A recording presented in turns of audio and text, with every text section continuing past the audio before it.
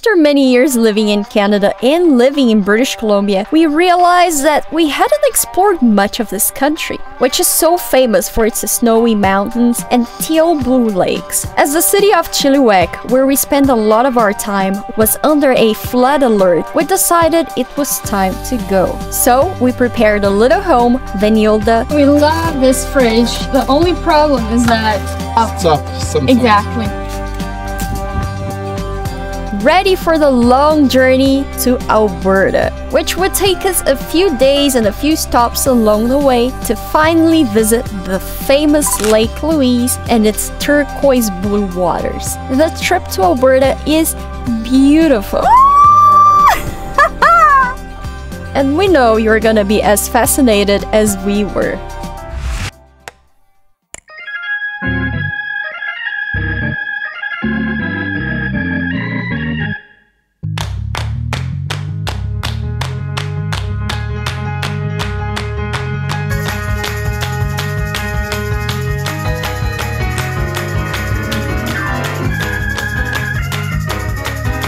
Today we woke up and we left the place where we were and we tried to escape what could be a flood. Well, we don't know if the flood will really happen. If it does, it will be really sad. There is a warning issued for the Fraser Valley. So we were region. camping in the Fraser Valley. in the Fraser Valley. Government officials say they are planning for the possibility of a catastrophic break. A landslide in the Farwell Canyon has the Chilcotin River completely blocked.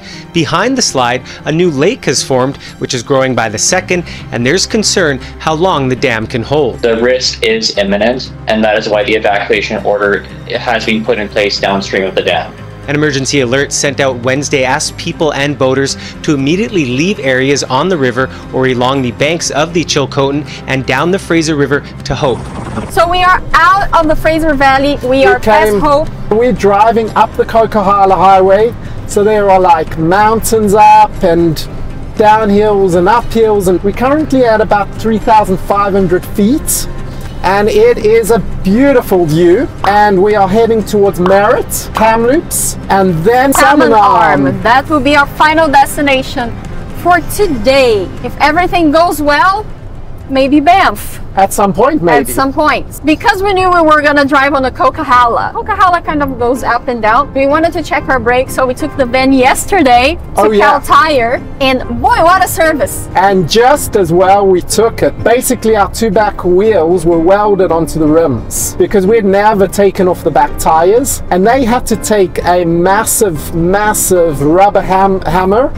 Yeah. And try to knock off those back wheels. It's a good thing we didn't get stuck on the side of the road with a flat. Plus, they rotated all the tires, which was good. I felt quite bad because they didn't charge a penny.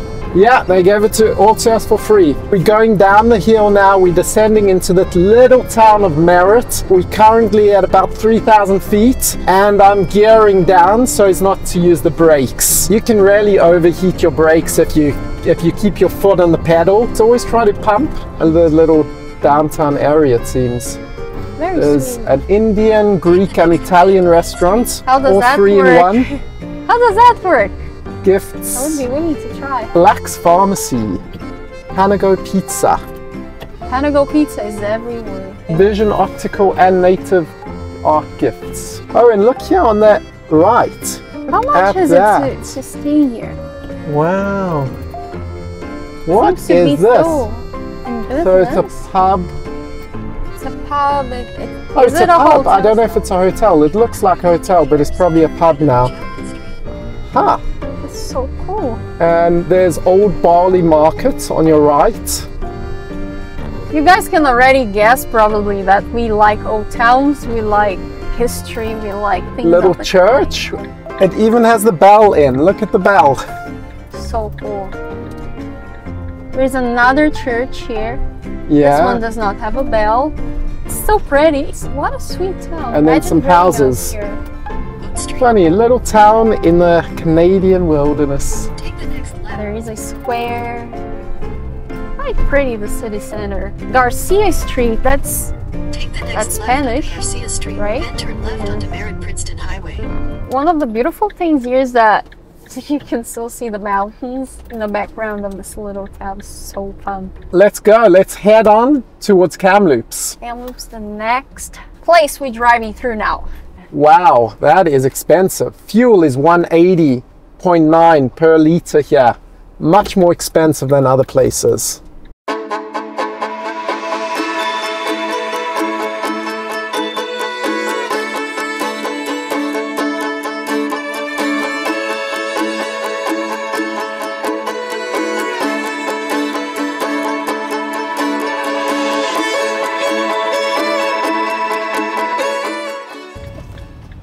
When Oh well, we came to Costco to do our shopping, but it's closed. yeah, so sad. It's Maybe we can use fuel at the Costco gasoline. Maybe we can get some fuel. let's see if we can. Generally It's sad that cheaper. it's closed. It's Sunday, and we forgot that Costco closes earlier on Sunday. Six. It closes at 6. We arrived here 8 past 6. Isn't that nice? This is the closest Costco to Salmon Arm, which is about 1 hour and 22 minutes away. Do you want to be in for a shock? Go for it. So we filled up before we got here from Chilliwack to Kamloops. This is cheap, cheap fuel compared to what we paid at Chilliwack. A few cents cheaper. Three cents cheaper. Yeah. $53.44. Canadian gas prices are expensive. There is a van from Quebec. Van lifers are funny. You normal people from houses see big cars like buses and vans and you name it, and you think, wow, that's a big car, that's a big vehicle. For us, it's like, it's livable. Does someone living there? So many people like us traveling through. Yep, traveling through, and Costco's a good place to stop if it was open in time. Whoa, it was opening time. We didn't get here in time.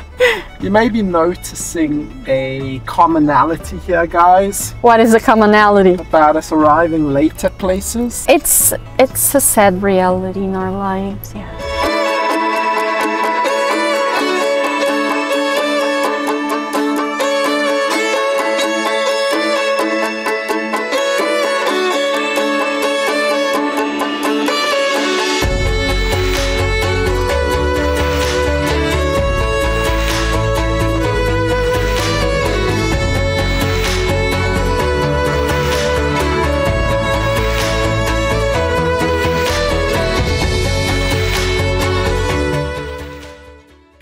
Update on the flood. Although the water levels went down and the destruction wasn't as big as compared to a few years ago, the debris brought by the water still causes big concern, as you can see on the news. And while the worst case scenario did not materialize, danger still exists from the debris flowing downstream. You can see the debris starting to flow from the Chilcotin into the Fraser River on Monday and make its way downstream. That's the uh, Chilcotin River, come through the canyon, that's where it joins the uh, Fraser River. This was the scene by Tuesday with sediment following.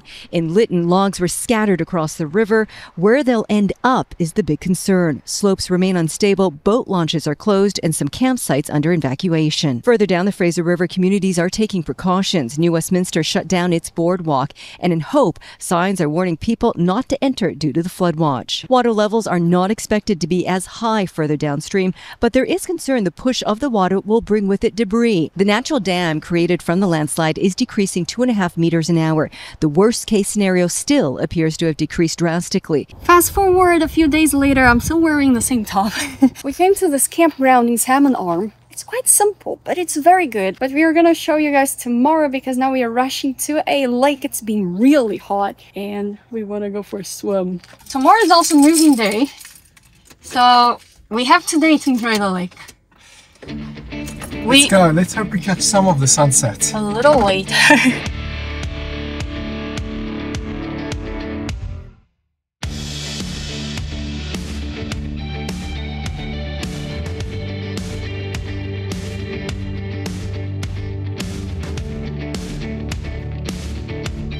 Beach. And you walk under this tunnel. So dark. Up here is a railway. Beautiful lake, it's massive. Surrounded by mountains, really pretty. And the railway is right up there. They put this here probably so that people can walk back without dirtying their feet. Wow, this is so gorgeous. I hope the water isn't too cold. Hey, Naz. Enjoying the water.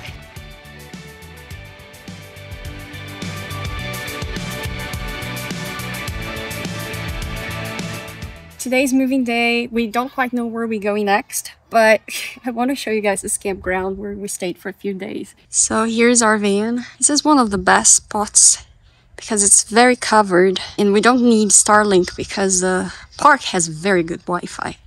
There is a baseball field right here. Other camping spots on the other side. These are the washrooms. Right on the other side is where the showers are.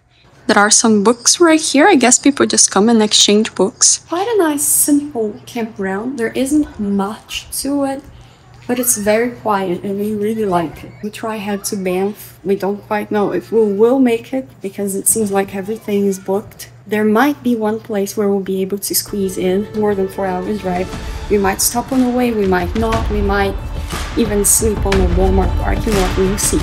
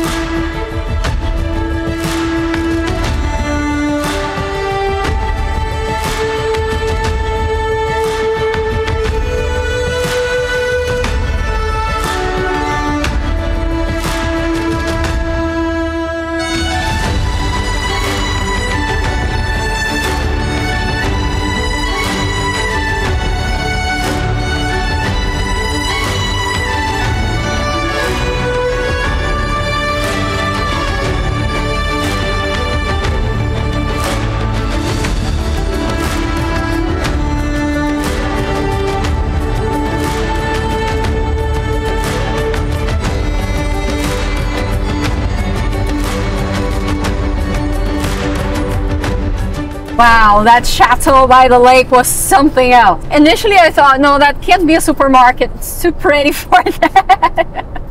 it was pretty impressive, I must say. We out of Salmon Arm. Yeah, small little town. One thing that's very interesting about this town is that Salmon Arm is built around the lake. A huge lake, that lake we showed you guys. Sus, what's Shuswap, Shuswap, Shuswap? Shuswap Lake. It's huge. It's So- a pretty laid back town, I would say. There's not mu- much population in these areas, No. but property prices are still very expensive. 600 or 700,000 Canadian dollars. Something like that, yeah. For biggish For- houses. This is not an- near any big cities. No, but that's roughly what you pay for an apartment in Vancouver. The next town that we're going to head to is called Revelstoke. This trip is getting prettier and prettier. Wow, look it's at like, these look lakes. at here. Look at this. Isn't this beautiful? Wow, the river is blue. Wow. Do you think it's because we're getting closer to Banff? So many of us.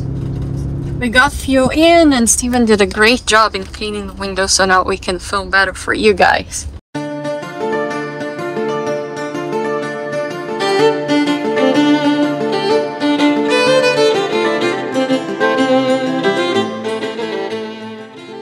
Are starting to see some snow caps.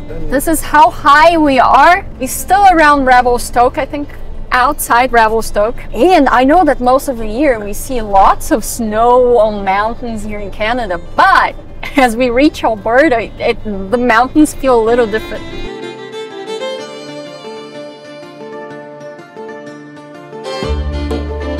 I believe this year is called Mountain Revelstoke. That's why the name of the place is Revelstoke. As we drive through the mountains, it starts to get rainy. I wonder if it's gonna be rainy there too in Banff. Let's see.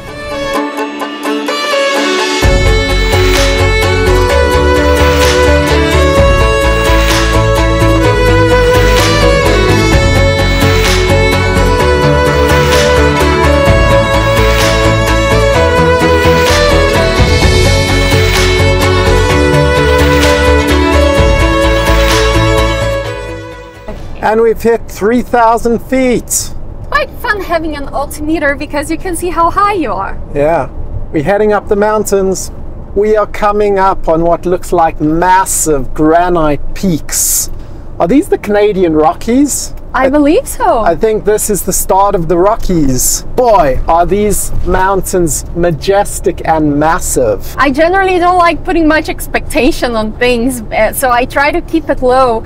But once we started seeing the Rocky Mountains, oh my goodness, I want to cry. It's so beautiful. I, am getting more and more excited. These massive mountains remind me a little bit of South Africa. Oh yeah, big with the time. grandeur of South Africa, the the, the large mountains and the nature and Yeah, this is the very first time we leave British Columbia after so many years in Canada. British Columbia, bye bye for the very first time, apart from when, When we we, flew. flew. through Toronto.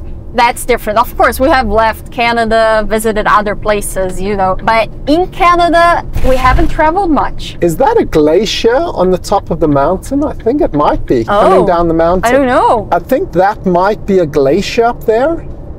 Now I do wonder. Very possible, very possible. And look at that kind of waterfall coming down the mountain. This is exquisite, guys. Where can you see the- So look at that waterfall coming down the mountain Oh, is that below the glacier. Yeah, that's kind of like a waterfall Oh or a my word, that's so beautiful. Wow. Wow. It looks like a painting in the distance, like a backdrop to a movie set. Ah, I'm getting very excited. There's a height limit in these tunnels, but it's kind of like a highway. How are people supposed to turn around just before the tunnel? If you look down there, that RV down there is not too far from the top of the tunnel.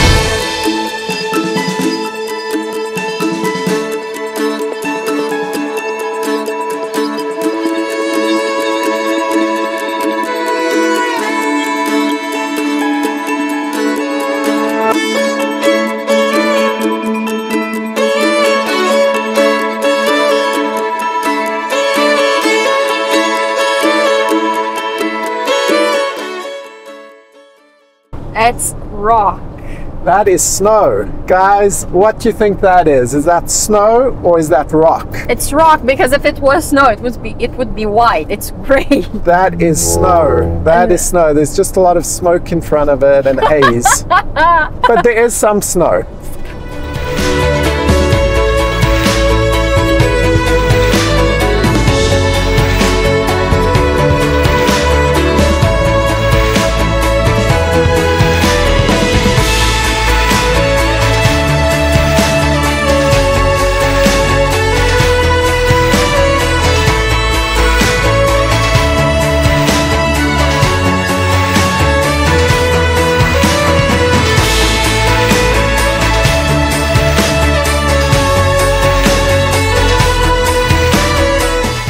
Oh, there's a mountain goat, yeah? Did you oh see it? wow! Finally, finally a mountain goat.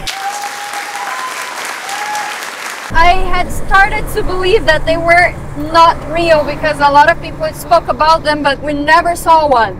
That changes things. I'm now believing they exist. That's some big horns. I think they pull what big horn sheep Big, big like horn, that. yeah. There is a little bit of snow. I was largely wrong. Like la- by it's- largely, he most means of it's all not the snow. gray. All the gray means he's largely wrong. But there is a bit of snow left up there, if you can see. So Don't worry, Happy. What probably happened is that it melted from a few minutes ago. miracles happen.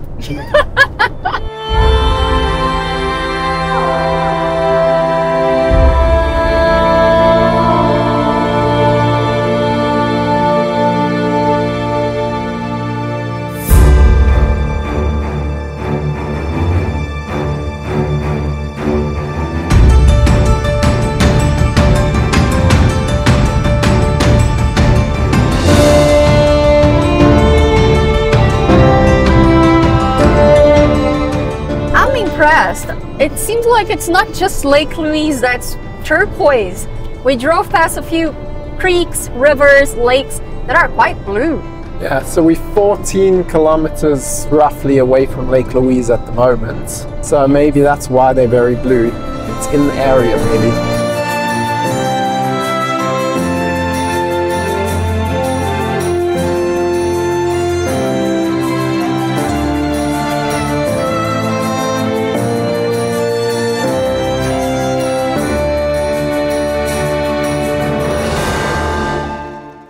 You guys can see these tunnels and we saw a few of them now. And they have like a garden on the top so the animals can, Can cross. walk softly. Walk softly. Speaking of animals, we haven't seen much. We haven't seen a bear, we haven't seen a moose. Bear. bear, bear, bear, bear, bear. There's a bear. There's a bear.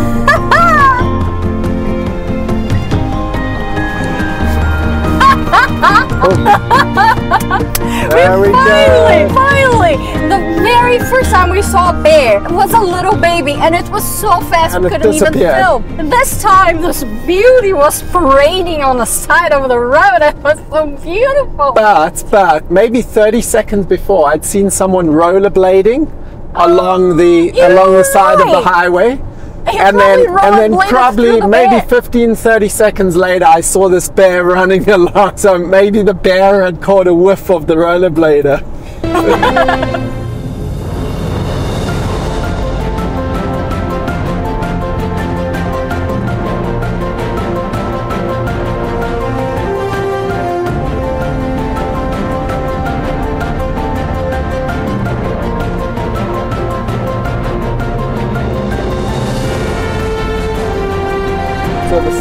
setting and we are trying to find a camp spot. We have two options, we think. We came outside of Canmore and there is Rafters Six Ranch. which I think they charge 29 per night. Mm-hmm. And we drove up there and it's a big field and it's a pretty field with view of the mountains. We saw a sign on the way here which suggests you can camp for one night. So we'll probably go check that out as well and then make a decision. Before the sun sets completely. well, I guess we're going back to the ranch because it's closed. The gate's Yeah. closed. The sign says camp for a day, but it's closed. If you like this video, please give us your thumbs up and subscribe to this channel. Don't forget to hit the notifications bell so you guys know when we put up new videos. We are also on Instagram. Thanks for watching, keep well, God bless, and bye bye!